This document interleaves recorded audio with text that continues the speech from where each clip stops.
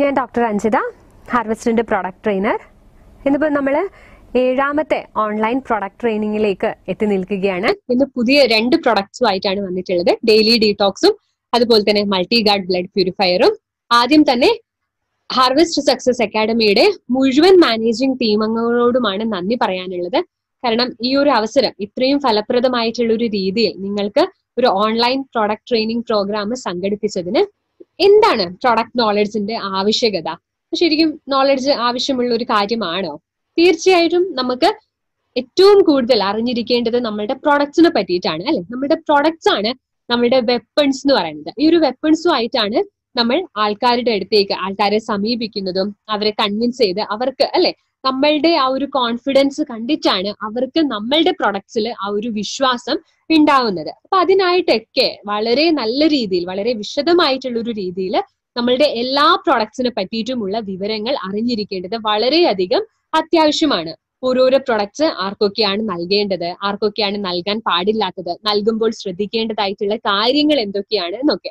എങ്കിൽ മാത്രമേ നമ്മൾക്ക് ഉചിതമായിട്ടുള്ള ഒരു പ്രൊഡക്റ്റ് ഉചിതമായിട്ടുള്ള ആൾക്കാരുടെ അടുത്തേക്ക് എത്തിക്കാനായിട്ട് സാധിക്കുകയുള്ളൂ. അത് തന്നെയാണ് ഹാർവെസ്റ്റ് സക്സസ് അക്കാഡമി പറയുന്നത്. നിങ്ങൾക്കറിയാം ഹാർവെസ്റ്റ് സക്സസ് അക്കാഡമി നമ്മളുടെ എഡ്യൂക്കേഷൻ സിസ്റ്റം ആണ്. എഡ്യൂക്കേഷൻ വിങ് ആണ്. നമ്മളുടെ എല്ലാ തരത്തിലുള്ള ബിസിനസ് പ്രോഗ്രാംസും അതുപോലെ തന്നെ പ്രോഡക്റ്റ് ട്രെയിനിങ് പ്രോഗ്രാംസും ഒക്കെ ഓർഗനൈസ് ചെയ്യുന്നത് ഹാർവെസ്റ്റ് സക്സസ് അക്കാഡമിയാണ് ഹാർവെസ്റ്റ് സക്സസ് അക്കാഡമി പറയുന്നതാണ് ലേൺ ആൻഡ് ഏൺ നിങ്ങൾ അറിവ് നേടൂ. അറിവ് നേടിക്കൊണ്ട് നിങ്ങൾ സമ്പാദിക്കൂ എന്നതാണ് പറയുന്നത്.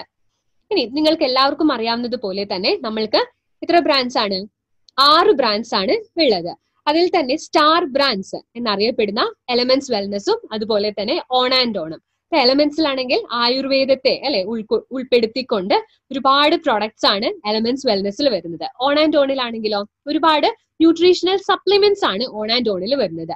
ഇനി ബാക്കിയുള്ള നാല് ബ്രാൻഡ്സ് നോക്കിയാൽ അറിയാം. ആഹാറിലാണെങ്കിൽ വളരെ നല്ല അല്ലെ കറി പൗഡേഴ്സ് ഇന്നത്തെ കാലത്ത് എല്ലാത്തിലും മായം ചേർന്നിട്ടാണ് വരുന്നത്. അപ്പം അതിനൊക്കെ ഒരു പരിഹാരം എന്നോണം. വളരെ നല്ല കറി പൗഡേഴ്സ് നിങ്ങൾക്ക് ലഭ്യത്തക്ക വിധത്തിലുള്ള ഒരു ബ്രാൻഡാണ് ആഹാർ എന്ന് പറഞ്ഞിട്ടുള്ള ബ്രാൻഡ് ന്യൂ സ്റ്റാറിലായിക്കട്ടെ പേഴ്സണൽ കെയർ പ്രോഡക്ട്സ് ആണ്. ഒരുപാട് ബ്യൂട്ടി സോപ്സ് പേസ്റ്റ് അതുപോലെ തന്നെ ഹെർബൽ ഓയിൽസ് ഒക്കെയാണ് ന്യൂ സ്റ്റാറിൽ വരുന്നത്. ഹോം കെയർ പ്രൊഡക്ട്സ് ആയിട്ടുള്ള മൈ ഹോം അതുപോലെ തന്നെ അഗ്രികൾച്ചറിനെ സപ്പോർട്ട് ചെയ്യാൻ എന്ന രീതിയിൽ ഒരുപാട് അല്ലെ നമ്മുടെ കാർഷിക ഉൽപ്പന്നങ്ങളുടെ വർധനവ് ലക്ഷ്യമാക്കിക്കൊണ്ട് വന്നിട്ടുള്ളതാണ് ഇന്ത്യ ഗ്രോ എന്ന് പറഞ്ഞിട്ടുള്ള ഒരു ബ്രാൻഡ് അപ്പൊ ഇതെല്ലാം നോക്കുമ്പോൾ നമുക്കറിയാം എന്താണ് ഇതിന്റെ ഒക്കെ ഉള്ള ഒരു സിമിലാരിറ്റി ഒരു സാമാന്യത എന്ന് പറയുന്നത് എന്താണ്? എല്ലാം അല്ലെ? നല്ല എല്ലാ മേഖലയിലും നമ്മുടെ എം ഐ ലൈഫ് സ്റ്റൈൽ കൈവച്ചിട്ടുണ്ട്. അല്ലെ? നമ്മളുടെ ആരോഗ്യത്തിന്റെ കാര്യത്തിലാണെങ്കിലും നല്ല ഭക്ഷണം എന്നോണം ഒരു ന്യൂട്രീഷണൽ സപ്ലിമെന്റ്സ് നൽകാന് കറി പൗഡേഴ്സ് ആയിക്കോട്ടെ പേഴ്സണൽ കെയർ ആയിക്കോട്ടെ ഹോം കെയർ ആയിക്കോട്ടെ അഗ്രികൾച്ചറൽ ആയിക്കോട്ടെ എല്ലാ എല്ലാ ബ്രാൻഡ്സിലും എല്ലാ മേഖലയിലുമാണ് നമ്മളുടെ മൈ ലൈഫ് സ്റ്റൈൽ കൈവച്ചിട്ടുള്ളത്. ഏറ്റവും നല്ല ഗുണനിലവാരമുള്ള നമ്പർ വൺ ക്വാളിറ്റി പ്രൊഡക്ട്സ് നിങ്ങളുടെ അടുത്ത് എത്തിക്കുക എന്നുള്ള ഒരു ലക്ഷ്യത്തോട് കൂടിയിട്ടാണ് ഈ ഒരു ആറ് ബ്രാൻഡ്സും വന്നിട്ടുള്ളത്. ഇനി എപ്പോഴും ചോദിക്കുന്ന ഒരു ചോദ്യമാണ്. നമ്മളുടെ പൂർവികരും അതുപോലെ പൂർവികർ നമ്മളുടെ മുതുമുത്തച്ഛന്മാരുടെ ആയുർ ആയുർദൈർഘ്യവും അവരുടെ ആ ഒരു ആയുസ്സും അതുപോലെ ഇന്നത്തെ കാലത്തെ ആയുസ്സും തമ്മിലുള്ള എത്രത്തോളം വ്യത്യാസമാണ് കാണുന്നത്. നമുക്കറിയാം പണ്ട് കാലങ്ങളിൽ അല്ലേ നമ്മളുടെ മുതുമുത്തച്ഛന്മാർക്കൊക്കെ നൂറിലധികമായിരുന്നു അവരുടെയൊക്കെ ആയുസ് എന്നാൽ ഇന്നോ ഇന്ന് അത് നേരെ പകുതിയായിട്ട് വന്നിരിക്കുകയാണ്. അൻപതും അൻപത്തഞ്ചും അറുപത് വയസ്സിലും ഒക്കെയാണ് മരണം അടയുന്നത് എന്തുകൊണ്ടാണ് ഇത്തരത്തിൽ ഇങ്ങനെ മരണമടയുന്നത് പണ്ടൊന്നും കേട്ടുകേൾവി പോലും ഇല്ലാത്ത തരത്തിലുള്ള പല പല രോഗങ്ങളാണ്. ഇപ്പം സ്ത്രീകളെ സംബന്ധിച്ചിടത്തോളം ആയിക്കോട്ടെ വന്ധ്യതയ്ക്കും മറ്റും കാരണമാകുന്ന പല തരത്തിലുള്ള രോഗങ്ങളാണ്. ഇപ്പം ഇപ്പൊ ഒരു എന്താണ് പറയുകയാണെങ്കിൽ ഇപ്പൊ ഒരു ഗർഭാവസ്ഥയിൽ ഒരു പ്രഗ്നന്റ് ലേഡീന്റെ അടുത്ത് അത് ചെയ്യരുത് ഇത് ചെയ്യരുത് നടക്കുമ്പോൾ ശ്രദ്ധിക്കണം. തുടങ്ങിയ പല തരത്തിലുള്ള കാര്യങ്ങളാണ് പറയുന്നത്. പണ്ടും സ്ത്രീകൾ പ്രസവിച്ചിരുന്നു. പണ്ടും എന്താണ് അല്ലെ പറയും നമ്മുടെ മുത്തശ്ശിമാരൊക്കെ പറയും നെല്ല് കുത്തിക്കൊണ്ട് തന്നെ പ്രസവിക്കാൻ പോയിട്ടുണ്ട് എന്നൊക്കെ പറയും. അപ്പൊ എന്താണ് അത്രയധികം ഇന്ന് ഇത്രയധികം വ്യത്യാസം അല്ലെ നമ്മളുടെ കാലത്തിൽ നമ്മളുടെ കാലഘട്ടത്ത് ഒരുപാട് വ്യത്യാസങ്ങൾ ഒരുപാട് മാറ്റമാണ് വന്നിട്ടുള്ളത്. ആ ഒരു മാറ്റം നമ്മളുടെ എന്താണ് നമ്മളുടെ ജീവിതത്തിലും വരിച്ചിരിക്കുകയാണ്. ഇന്നെല്ലാം നമ്മളുടെ ജീവിതം വളരെ സുഗമമായി ഇരിക്കുകയാണ് നമ്മൾ ഒന്നും ജോലി ചെയ്യേണ്ട ആവശ്യമില്ല. ജോലി ചെയ്യാനാണെങ്കിൽ വാഷിംഗ് മെഷീൻ ഉണ്ട് മിക്സി ഉണ്ട് ഗ്രൈൻഡർ ഉണ്ട്. അങ്ങനെ എല്ലാം സുഗമമാവുന്നതോടൊപ്പം തന്നെ എന്താണ് കഷ്ടമായിട്ട് വന്നിരിക്കുന്നത്? രോഗങ്ങളുടെ ആധിക്യത അല്ലെ വർദ്ധിച്ചു വർദ്ധിച്ച് വന്നുകൊണ്ടേയിരിക്കുകയാണ്. ഇപ്പം ഇപ്പോഴാണെങ്കിൽ കൊറോണ വൈറസ് അല്ലെ കേട്ടുകേൾവി പോലും ഇല്ലാത്ത തരത്തിലുള്ള ഒരു കൊറോണ വൈറസും അത് കാരണം എല്ലാ ജനങ്ങളും വളരെ ഭീതിയിലാർന്ന് മാസ്ക് ഒക്കെ വെച്ചിട്ടാണ് നടന്നു പോകുന്നത്. അപ്പൊ നമ്മൾ സ്വപ്നത്തിൽ പോലും വിചാരിച്ചിരുന്നില്ല അല്ലെ? നമ്മൾ ഇങ്ങനെ ഇത്തരത്തിൽ ഒരു ജനതയെ മാസ്ക് വെച്ച് നടക്കുന്ന ഒരു ജനത ഒരു അങ്ങനെയുള്ള ഒരു കാലഘട്ടത്തിലൂടെ നമ്മൾക്ക് പോകേണ്ടി വരും എന്നുള്ളത് നമ്മൾ ഒരിക്കലും നമ്മൾ വിചാരിച്ചിരുന്നേ ഇല്ല ഇത് നോക്കിയാൽ അറിയാം പ്രമേഹം മുതൽ ക്യാൻസർ വരെ ജീവിതശൈലി രോഗങ്ങളുടെ പട്ടികയിൽ ഉൾപ്പെടുത്താവുന്നവയാണ്. എന്താണ് ജീവിതശൈലി രോഗങ്ങൾ? നമ്മൾ നമ്മുടെ ശരീരത്തെ എപ്രകാരമാണോ എപ്രകാരമാണോ നിലനിർത്തുന്നത് എപ്ര- എപ്രകാരമാണോ നോക്കിക്കാണുന്നത് സംരക്ഷിക്കുന്നത്? ആ രീതിയിലാണ് നമ്മുടെ ശരീരത്തിൽ പല വിധത്തിലുള്ള രോഗങ്ങൾ വന്നുപെടുന്നത്. പണ്ടത്തെ ആൾക്കാർ ഭയങ്കര വ്യായാമശീലമുള്ളവരായിരുന്നു. നല്ല ഭക്ഷണമായിരുന്നു അവർ കഴിച്ചിരുന്നത് സ്വന്തമായി. പാകം ചെയ്യുന്ന നല്ല നല്ല ഭക്ഷണങ്ങളായിരുന്നു പണ്ടുള്ളവർ കഴിച്ചിരുന്നത്. ഇന്ന് അതൊന്നുമല്ല അല്ലെ? അപ്പം ഇത്തരത്തിലുള്ള കാരണങ്ങളൊക്കെ കൊണ്ടാണ് പല വിധത്തിലുള്ള രോഗങ്ങൾ അനുദിനം വർദ്ധിച്ചു കൊണ്ടേയിരിക്കുകയാണ് അപ്പം ഓരോ രോഗം വരുമ്പോഴും അതിനുള്ള ഇപ്പൊ ഒരു വൈറസ് വന്നു. അതിനുള്ള എന്താണ് വാക്സിൻ കണ്ടുപിടിക്കുന്നത് ആണോ ഫലപ്രദമായിട്ടുള്ള ഒരു രീതി എന്ന് പറയുന്നത്? ഇനിയിപ്പോ ഈ കൊറോണ വൈറസ് കഴിഞ്ഞ് ഇനി അടുത്ത ഘട്ടത്തിൽ അടുത്തൊരു വൈറസ് വരും വളരെ വിറുലന്റ് ആയിട്ടുള്ള. അപ്പൊ അതിനൊരു വാക്സിൻ അങ്ങനെയാണോ വേണ്ടത്? അല്ല അങ്ങനെ നമ്മൾ ഓരോ വൈറസിനും ഓരോ വാക്സിന് കണ്ടുപിടിച്ചുകൊണ്ട് ഇരുന്നാൽ അത് തന്നെ തുടരേണ്ടി വരും. മറിച്ച് നമ്മൾക്ക് എന്ത് ചെയ്യാൻ പറ്റും? നമ്മുടെ രോഗപ്രതിരോധ ശേഷി വളരെ നല്ല രീതിയിൽ മെച്ചപ്പെടുത്തി എടുക്കുകയാണെങ്കിൽ ഏതൊരു വൈറസ് വന്നിട്ടുണ്ടെങ്കിലും അതിന്റെ ഒന്നും മുന്നിൽ നമ്മൾ മുട്ടുമടക്കേണ്ട ആവശ്യമില്ല. നമ്മുടെ തന്നെ ശരീരത്തിൽ ഒരുപാട് രീതിയിലുള്ള പ്രവർത്തനങ്ങൾ നടക്കുന്നുണ്ട്. രോഗപ്രതിരോധ ശേഷിയുണ്ട് ഇമ്മ്യൂൺ സിസ്റ്റം ഉണ്ട് അല്ലെ? അത് ഇരുപത്തിനാല് മണിക്കൂറും വിജിലന്റ് ആയിട്ടാണ് ഇരിക്കുന്നത്. നമ്മൾ എല്ലാവരും വായു ശ്വസിക്കുന്നത് ആ വായുവിൽ ഒട്ടനവധി കോടിക്കണക്കിന് ബാക്ടീരിയാസും വൈറസും ജേംസും ഒക്കെയാണ് ഉള്ളത്. അത് നമ്മൾ ശ്വസിക്കുന്നു. എന്ന് കരുതി നമ്മൾ നമ്മൾക്ക് നാളെ രോഗം വരുന്നുണ്ടോ? ഇല്ല. എന്തെങ്കിലും തരത്തിലുള്ള ഫോറിൻ ബോഡീസ് അതായത് പുറത്തു നിന്നും വരുന്നതായിട്ടുള്ള ഇപ്പം ബാക്ടീരിയാസ് ആയിക്കോട്ടെ വൈറസ് ആയിക്കോട്ടെ എന്തെങ്കിലും രീതിയിലുള്ള ഇത്തരത്തിലുള്ള വസ്തുക്കൾ അകത്തേക്ക് കയറിയിട്ടുണ്ടെങ്കിൽ ശരീരത്തിൽ തന്നെ ഒരുപാട് ഭടന്മാരും യുദ്ധം ഏത് നേരവും യുദ്ധം നടക്കുന്നതിന് ആവശ്യമായിട്ടുള്ള എല്ലാ സജ്ജീകരണങ്ങളോടും കൂടിയിട്ടാണ് ശരീരം ഇരുപത്തിനാല് മണിക്കൂറും വിജിലന്റ് ആയിട്ട് ഇരിക്കുന്നത്. എന്നാൽ ഈ പറഞ്ഞിട്ടുള്ള ഈ രോഗപ്രതിരോധ ശേഷിയെ താറുമാറാക്കുന്നതിനായിട്ടുള്ള പല വിധത്തിലുള്ള കാരണങ്ങൾ നമ്മൾ മുൻപേയുള്ള ട്രെയിനിങ്ങിൽ പറഞ്ഞിരുന്നു. എന്തൊക്കെയായിരുന്നു? ആദ്യം തന്നെ സ്ട്രെസ് അല്ലെ? അതുപോലെ തന്നെ ഒട്ടും പോഷകം ഒന്നുമില്ലാത്ത ഒരുപാട് ജങ്ക് ഫുഡ്സ് അല്ലെ? ഫാസ്റ്റ് ഫുഡ് ഒക്കെ കഴിക്കുന്നത് വഴി പുകവലി മദ്യപാനം മലിനമായിട്ടുള്ള വായു ശ്വസിക്കുന്നത് മൂലം അധികമായിട്ട് വെള്ളം കുടിക്കാത്തത് മൂലം തുടങ്ങിയവയ്ക്ക് മൊബൈൽ റേഡിയേഷൻ സൂര്യാഘാതം തുടങ്ങി ഒട്ടനവധി പ്രധാനമായിട്ടുള്ള കാരണങ്ങൾ നമ്മൾ പറഞ്ഞിരുന്നു. ഇന്ന് നമ്മൾ വേറൊരു കാരണത്തെ പറ്റിയാണ് കൂടുതൽ നമ്മൾ ഫോക്കസ് ചെയ്യുന്നത്. അതാണ് നമ്മുടെ ശരീരത്തിൽ അമിതമായിട്ടുള്ള മാലിന്യങ്ങളെ നീക്കം ചെയ്യാത്ത പക്ഷം നമ്മുടെ രോഗപ്രതിരോധ ശേഷിയെ അത് താറുമാറാക്കുന്നതാണ്. നമ്മുടെ ശരീരത്തിൽ എന്താണ്? ഒരുപാട് മാലിന്യങ്ങൾ ഉണ്ടാകുന്നുണ്ട് അല്ലെ? ഇപ്പൊ ഞാൻ ശ്വസിക്കുന്നു. ശ്വസിക്കുമ്പോൾ എന്താണ്? കാർബൺ ഡൈ ഓക്സൈഡ് നമ്മുടെ എന്റെ ശരീരത്തിൽ നമ്മളെ എല്ലാവരുടെയും ശരീരത്തിൽ ഉണ്ടായിക്കൊണ്ടിരിക്കുന്നു. ആ മാലിന്യത്തെ നീക്കം ചെയ്യേണ്ടത് ആവശ്യമാണ്. നമ്മൾ കഴിക്കുന്ന ഭക്ഷണം.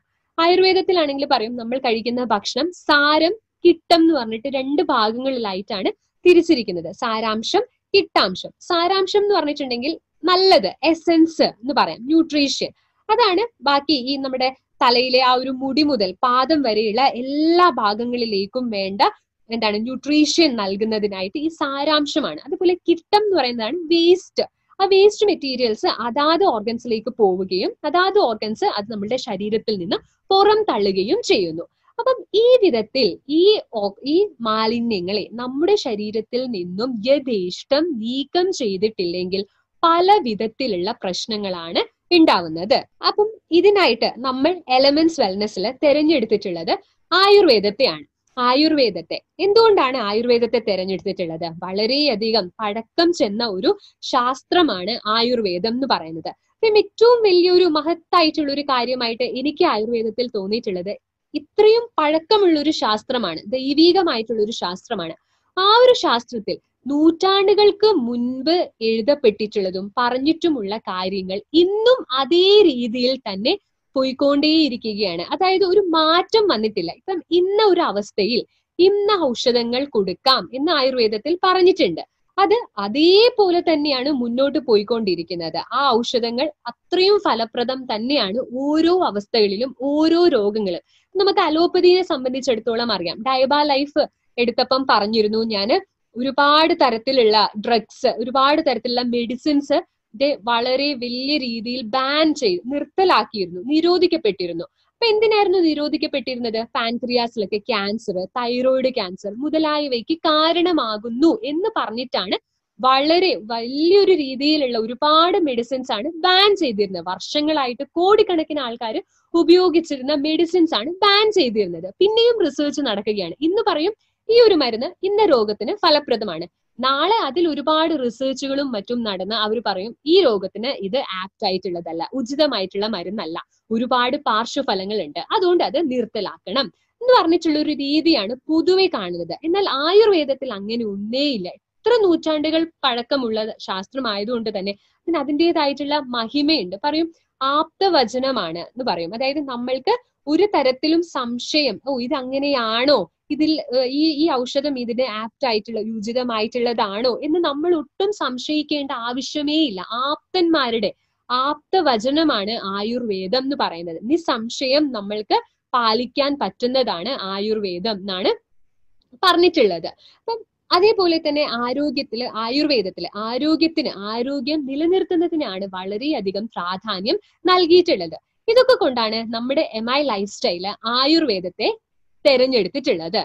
ആയുർവേദവും മോഡേൺ സയൻസും കൂടി മിക്സ് ചെയ്തിട്ടാണ് നമ്മളുടെ എല്ലാ പ്രൊഡക്ട്സും മോഡേൺ ടെക്നോളജിയും കൂടി ഉൾപ്പെടുത്തിയിട്ട് രണ്ടിന്റെയും ഒരു സമ്മിശ്രിതമായിട്ടാണ് നമ്മളുടെ എലമെന്റ്സ് വെൽനെസിന്റെ എല്ലാ പ്രൊഡക്ട്സും വരുന്നത്. അപ്പം ഇതിന്റെ അമരക്കാരൻ നമ്മൾക്ക് വേണ്ട എല്ലാ നിർദ്ദേശങ്ങളും എലമെന്റ്സ് വെൽനെസിന്റെ പ്രൊഡക്ട്സിലുള്ള അതിന്റെ കോമ്പിനേഷൻസ് ഞാൻ എപ്പോഴും പറയും ഭയങ്കര ബ്രില്യന്റ് ആയിട്ടുള്ള ഒരു കോമ്പിനേഷൻ ആണ് എന്നല്ലേ ആ ഒരു കോമ്പിനേഷൻ ആ ഒരു ഔഷധ കൂട്ടിന്റെ ഒക്കെ ആ ഒരു നിർദ്ദേശം ഒക്കെ നമുക്ക് നൽകിയിട്ടുള്ള ആളാണ് doctor D B A Narayanan sir നമ്മളുടെ പ്രിൻസിപ്പൽ സയന്റിഫിക് അഡ്വൈസർ ആണ്. നാൽപ്പത്തി അഞ്ച് വർഷത്തിൽ ഉള്ള എക്സ്പീരിയൻസ് ആണ് അദ്ദേഹത്തിനുള്ളത്. ഗോൾഡ് മെഡലിസ്റ്റ് ആണ്. പല പല റെപ്യൂട്ടഡ് ആയിട്ടുള്ള കമ്പനീസിൽ അദ്ദേഹം വർക്ക് ചെയ്തിട്ടുണ്ട്. ഡാബർ ഹിന്ദുസ്ഥാൻ ലിവർ മുതലായിട്ടുള്ളത്. ഒരുപാട് എന്താണ് ഗവൺമെന്റ് കമ്മിറ്റിയിലൊക്കെ മെമ്പർ ആയിട്ടും ഇരുന്നിട്ടുണ്ട്. അദ്ദേഹം ഒരുപാട് അവാർഡുകൾ കരസ്ഥമാക്കിയിട്ടുണ്ട്. ഒരുപാട് ബുക്സും അദ്ദേഹം എഴുതിയിട്ടുണ്ട്. അപ്പം നമ്മളെ സംബന്ധിച്ചിടത്തോളം ഇത് തീർത്തും നമ്മളുടെ ഭാഗ്യമാണ്. ഡി ബി എ നാരായണൻ സാറിനെ പോലുള്ള ഒരു വ്യക്തിത്വം നമ്മളുടെ നമ്മൾക്ക് വേണ്ട എല്ലാ നിർദ്ദേശങ്ങളും നൽകാനായി നമ്മുടെ കമ്പനിയുടെ കൂടെ തന്നെ ഉണ്ട് എന്ന് പറയുന്നത്. നമ്മൾക്ക് എല്ലാവർക്കും അഭിമാനം കൊണ്ട ഒരു നിമിഷമായിരുന്നു രണ്ടായിരത്തി പത്തൊമ്പതിൽ ബെസ്റ്റ് ഹെൽത്ത് കെയർ ബ്രാൻഡ് ആയിട്ട് എം ഐ ലൈഫ് സ്റ്റൈലിന്റെ എലമെന്റ്സ് വെൽനെസ്സിനെ എക്കണോമിക് ടൈംസ് തിരഞ്ഞെടുത്തിട്ടുള്ളത്. അതും വളരെ ലോഞ്ച് ചെയ്തിട്ട് വെറും നാലഞ്ച് വർഷത്തിനുള്ളിലാണ് നമ്മൾക്ക് ബെസ്റ്റ് ഹെൽത്ത് കെയർ ബ്രാൻഡ് എന്ന പുരസ്കാരം എന്ന അനുമതി നമ്മൾക്ക് ലഭിച്ചിട്ടുള്ളത്. അപ്പൊ നമ്മളെ സംബന്ധിച്ചിടത്തോളം വളരെയധികം അഭിമാനകരമായിട്ടുള്ള ഒരു നിമിഷമായിരുന്നു ഇത്. ആയുർവേദത്തെ പറ്റിയിട്ട് പറഞ്ഞിരുന്നു അല്ലെ? നൂറ്റാണ്ടുകൾ പഴക്കമുള്ളതാണ് ഉള്ള ഒരു ശാസ്ത്രമാണ്. വളരെ ഫലപ്രദമായിട്ടുള്ള രീതിയിൽ അല്ലെ? നമ്മൾക്ക് നമ്മുടെ ശരീരത്തിൽ കാണുന്ന കായ ബാല ഗ്രഹ ഊർധ്വാംഗ ശല്യ ദംഷ്ട്ര ജര വൃഷാൻ തുടങ്ങി എട്ട് അഷ്ട അംഗങ്ങളിലായിട്ട് ജനറൽ മെഡിസിൻ അതുപോലെ തന്നെ കണ്ണിന് വരുന്ന രോഗങ്ങൾ ത്വക്ക് രോഗങ്ങൾ സ്ത്രീകളിൽ കാണുന്ന പ്രശ്നങ്ങൾ ഗ്രഹം അപസ്മാരം ഉന്മാദം സർപ്പവിഷം ഏറ്റിട്ടുണ്ടാവുന്നതിന്റെ ചികിത്സ തുടങ്ങി എല്ലാ എല്ലാ മേഖലയിലും എങ്ങനെയാണ് എപ്രകാരമാണ് ഫലപ്രദമായിട്ട് ചികിത്സിക്കേണ്ടത് എന്നുള്ളത് ആയുർവേദത്തിൽ വളരെ ലളിതമായിട്ട് വളരെ വ്യക്തമായിട്ട് പറഞ്ഞു തന്നിട്ടുള്ളതാണ്. ആയുർവേദത്തിന്റെ ബേസിസ് എന്ന് പറഞ്ഞിട്ടുണ്ടെങ്കിൽ നമ്മൾക്കറിയാം നമ്മളുടെ ഈ ഒരു ബ്രഹ്മാണ്ഡം ഈ ഒരു ഭൂമി ഈ ഒരു ബ്രഹ്മാണ്ഡം എന്ന് പറയുന്നത് അല്ലെ എത്ര അഞ്ച് തത്വങ്ങൾ അഞ്ചെണ്ണം കൂടി നിർമ്മിച്ചിട്ടുള്ളതാണ് നമ്മളുടെ ഈ ഒരു ബ്രഹ്മാണ്ഡം എന്ന് പറയുന്നത്. പറയും പൃഥ്വി അപ്പ് തേജൂർ വായുർ ആകാശം. പൃഥ്വി എന്ന് പറഞ്ഞാൽ ഭൂമി അപ്പ് എന്ന് പറഞ്ഞിട്ടുണ്ടെങ്കിൽ ജലം അതുപോലെ തന്നെ വായു ആകാശം അഗ്നി. ഇവ അഞ്ചിന്റെയും സമ്മിശ്രിതമാണ് നമ്മളുടെ ബ്രഹ്മാണ്ടം എന്ന് പറയുന്നത്. അപ്പം ആയുർവേദത്തിൽ പറഞ്ഞിരിക്കുന്നത് എന്തൊക്കെയാണോ ഈ ബ്രഹ്മാണ്ടത്തിൽ കാണുന്നത് അതൊക്കെ നമ്മുടെ ശരീരത്തിനകത്ത് ഉണ്ട് എന്നാണ്. ഈ പറഞ്ഞിട്ടുള്ള പഞ്ചമഹാഭൂതങ്ങൾ ആണ് ഈ പറഞ്ഞിട്ടുള്ള പൃഥ്വി അപ്പ് തേജോ വായു ആകാശം എന്ന് പറയുന്നത്. ഈ പഞ്ചമഹാഭൂതങ്ങളാൽ നിർമ്മിതമായിട്ടുള്ളതാണ് നമ്മുടെ ഏവരുടെയും ശരീരം എന്ന് പറയുന്നത്. ഓരോന്നിൽ നിന്നും ഓരോരോ ഭാഗങ്ങളാണ് വന്നിട്ടുള്ളത്. ആയുർവേദത്തിന്റെ ആയുർവേദത്തിന്റെ തന്നെ ഏറ്റവും ബേസ് ആയിട്ടുള്ള ഒരു കാര്യമാണ് നിങ്ങൾക്ക് അറിയായിരിക്കും വാദം പിത്തം കഫം എന്ന് പറഞ്ഞിട്ടാണ് ആയുർവേദത്തിലെ ഏറ്റവും ബേസിസ് അടിസ്ഥാനം എന്ന് പറയുന്നത്. ഏതൊരു രോഗിയും വന്നിട്ടുണ്ട് എങ്കിൽ നമ്മൾ അവരെ വാദ പിത്ത കഫങ്ങളുടെ അടിസ്ഥാനത്തിലാണ് തിരിക്കുന്നത്. ഇന്ന് രോഗി വാദപൈത്തികമുള്ള രോഗിയാണ്. കഫ പൈത്തികമായിരിക്കും വാദകഫമായിരിക്കും അങ്ങനെയാണ് തിരിക്കുന്നത്. ആയുർവേദത്തിൽ ഒരിടത്തും ഇന്ന രോഗത്തിന് നിങ്ങൾ ഇത് കൊടുക്കൂ എന്നല്ല പറഞ്ഞിട്ടുള്ളത്. ഇത്തരത്തിലുള്ള ലക്ഷണങ്ങളിൽ ഇത്തരത്തിലുള്ള വാദ പൈത്തികമായിട്ടുള്ള ആൾക്കാർക്ക് അല്ലെങ്കിൽ വാദ കഫജം പിത്ത കഫജം ആയിട്ടുള്ള ആൾക്കാർക്ക് ഇന്നത് കൊടുക്കൂ എന്നാണ് പറഞ്ഞിരിക്കുന്നത്. അല്ലാതെ ഒരു എന്താണ് ഒരു ജ്വരത്തിൽ അല്ലെങ്കിൽ ഒരു പനിക്ക് പാരസെറ്റാമോൾ നല്ല പറഞ്ഞിട്ടുള്ളത്. പനിയിൽ തന്നെ പല വിധത്തിലുള്ള പനിയാണ് ആയുർവേദത്തിൽ പറഞ്ഞിട്ടുള്ളത്. അൻപതിലധികം പനിയെ പറ്റിയിട്ടാണ് ആയുർവേദത്തിൽ പറഞ്ഞിട്ടുള്ളത്. ആ പനികളിൽ ആ കോമ്പിനേഷനിൽ ഇന്ന ഇന്ന ഔഷധങ്ങൾ കൊടുക്കൂ. വളരെ വാസ്റ്റ് വൈഡ് ആയിട്ടുള്ള ഒരുപാട് ഔഷധങ്ങളെയാണ് പറ്റിയിട്ടാണ് പറഞ്ഞിരിക്കുന്നത്. അപ്പൊ അത്രയും എന്താണ് വിശദമായിട്ട് ഓരോ കാര്യങ്ങളും പറഞ്ഞിരിക്കുന്ന ഒരു ശാസ്ത്രത്തെയാണ് നമ്മൾ ഇവിടെ ഉൾപ്പെടുത്തിയിട്ടുള്ളത്. അതിന്റെ ഗുണങ്ങളെയാണ് നമ്മൾ ഇവിടെ പ്രയോജനപ്പെടുത്തിയിട്ടുള്ളത്. നമ്മുടെ എലമെന്റ്സ് വെൽനെസ്സിന് ഒരുപാട് തരത്തിലുള്ള പ്രോഡക്ട്സ് ഉണ്ട്. അതിൽ ഏതൊക്കെയാണ്? ഇന്ന് ഞാൻ കൊണ്ടുവന്നിട്ടുള്ളത് ഡെയിലി ഡീടോക്സും അതുപോലെ തന്നെ മൾട്ടി ഗാർഡ് ബ്ലഡ് പ്യൂരിഫയറും ആണ്. ഡെയിലി ഡീടോക്സ് എന്ന് പറയുമ്പോൾ എന്താണ്? ആ പേരിൽ നിന്നും തന്നെ ഡീടോക്സ് എന്ന് പറഞ്ഞിട്ടുണ്ടെങ്കിൽ മലിനത്തെ അല്ലെ? മാലിന്യത്തെ നീക്കം ചെയ്യുന്നത് ഡീടോക്സിഫിക്കേഷൻ നിർവിമുക്തം അല്ലെ? മാലിന്യത്തെ നീക്കം ചെയ്യുന്നത് എന്നുള്ള ഒരു അർത്ഥത്തിലാണ് ഡെയിലി നിത്യേന മാലിന്യത്തെ നീക്കം ചെയ്യണം. ഇങ്ങനെ മാലിന്യത്തെ നീക്കം ചെയ്യേണ്ടത് അത്യാവശ്യമായിട്ടുള്ള ഒരു കാര്യമാണോ? നമുക്കറിയാം ഇപ്പൊ നമ്മളെ വീടുകളിൽ അല്ലെ? നമ്മളെ വീട് ഭയങ്കര നല്ല എന്താണ് ക്ലീൻ ആക്കിയിട്ട് നിർത്തും. ഇപ്പൊ പുറമേ നിന്നും ഇഴജന്തുക്കളോ പാമ്പ് പഴുതാര അല്ലെങ്കിൽ പൊടി പടലങ്ങളോ ഒന്നും വരാതിരിക്കാൻ നമ്മൾ നമ്മളെ വീട്ടിലെ ജനാലയും അതുപോലെ വാതിലും ഒക്കെ അടച്ച് സൂക്ഷിക്കുന്നു. എന്തിന്? ഈ പറയുന്ന എന്താണ് പുറത്തു നിന്നും ഒന്നും അകത്തേക്ക് കടക്കാതിരിക്കാൻ വേണ്ടി. മാലിന്യങ്ങൾ ഇപ്പൊ എന്താണ് കൊതുക് ഈച്ച ഒന്നും കയറാതിരിക്കാൻ വേണ്ടി നമ്മൾ നമ്മളെ വീട്ടിലെ എല്ലാ ജനലും വാതിലും അടച്ചു വെച്ചു. ഇതുകൊണ്ട് മാത്രം നമ്മൾക്ക് നമ്മുടെ വീട്ടിലെ എന്നും ക്ലീൻ ആണ് എന്ന് പറയാനായിട്ട് എന്നും ശുചിയാണ് എന്ന് നമുക്ക് പറയാനായിട്ട് പറ്റുമോ ഇല്ല. ഇപ്പൊ ഒരു പക്ഷേ ഈ ഇങ്ങനെ റൂമിൽ എന്താണ് ജനലും വാതിലും ഒക്കെ അടച്ചിട്ടു. പക്ഷെ ഒരു ഭാഗത്ത് കുന്നുകൂട്ടി കുറെ ആഴ്ചകളോളം അലക്കാതെ ഇട്ടിരിക്കുന്ന തുണി കിടക്കുന്നുണ്ട്. മറ്റൊരു ഭാഗത്താണെങ്കിൽ അടുക്കളയിലെ വെജിറ്റബിൾസിന്റെയും ഒക്കെ വേസ്റ്റുകൾ കിടക്കുന്നത്. നമ്മൾ കഴിച്ച ഭക്ഷണത്തിന്റെ വേസ്റ്റ് അതേപോലെ നിലത്ത് കിടക്കുന്നുണ്ട്. തൂത്തുവാരി തുടയ്ക്കാതെ വൃത്തിയില്ലാതെ കിടക്കുന്ന ഒരു മുറി. അപ്പൊ നമ്മൾ പറയാണ് പുറത്തുനിന്ന് ഒന്നും വരാതെ നമ്മൾ എല്ലാം അടച്ചു വെച്ചിട്ടുണ്ട്. ഇനി ഉള്ളിൽ നല്ല ക്ലീൻ ആൻഡ് ടൈഡി ആണ് എന്ന് നമുക്ക് പറയാൻ പറ്റുമോ നമുക്ക് വാദിക്കാൻ പറ്റുമോ ഒരിക്കലുമില്ല പുറത്തുനിന്ന് ഒന്നും വരുന്നില്ല എന്ന് ഉറപ്പ് വരുത്തുന്ന ഒരുവൻ എന്താണെങ്കിലും അകത്തെ ശുചിത്വം കൂടിയിട്ട് ഉറപ്പ് വരുത്തേണ്ടത് വളരെയധികം അത്യാവശ്യമാണ് അല്ലെ? എന്താണ് മലിനമായിട്ടുള്ള ആഴ്ചകളോളമുള്ള തുണി അലക്കി വൃത്തിയായിട്ട് സൂക്ഷിച്ചു വെക്കണം. പച്ചക്കറി ഭക്ഷണങ്ങളുടെയൊക്കെ മാലിന്യങ്ങളൊക്കെ വേസ്റ്റിൽ കൊണ്ടുപോയിട്ടിടണം അതൊക്കെ കറക്റ്റ് ആയിട്ടുള്ള രീതിയിൽ മാനേജ് ചെയ്യണം. അതേപോലെ തന്നെയാണ് നമ്മളുടെ ശരീരത്തിനും നമ്മൾ പ്രാധാന്യം നൽകേണ്ടത്. ഇന്നിപ്പം നോക്കിയാൽ അറിയാം എല്ലാവരും മാസ്ക് വെച്ച് നടക്കുന്നു.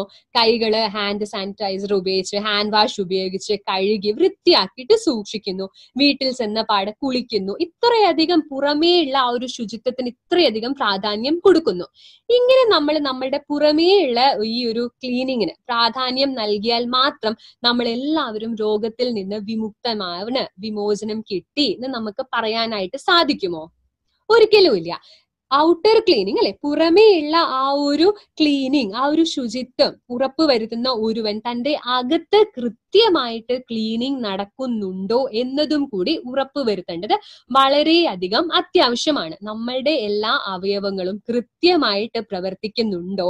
അവയുടെ ആരോഗ്യം നല്ല രീതിയിലാണ് ഉള്ളത്?